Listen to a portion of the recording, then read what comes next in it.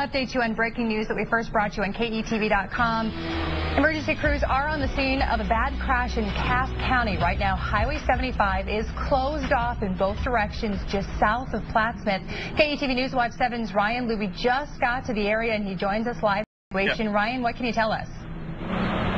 Hey guys, we are uh, on uh, Interstate or Highway 75. We're at uh, Highway 66 and 34. You can see that uh, there is some traffic coming toward us in the northbound direction, but we do understand that uh, the road is completely shut down a little farther south from where uh, we are right now. Uh, we understand that a uh, woman has been uh, transported by medical helicopter, about 40 years old, to the University of Nebraska Medical Center, excuse me, Nebraska Medical Center, and we also understand that there are many other serious uh, injuries connected with this crash. Uh, again, about a mile or two south of where we are, guys.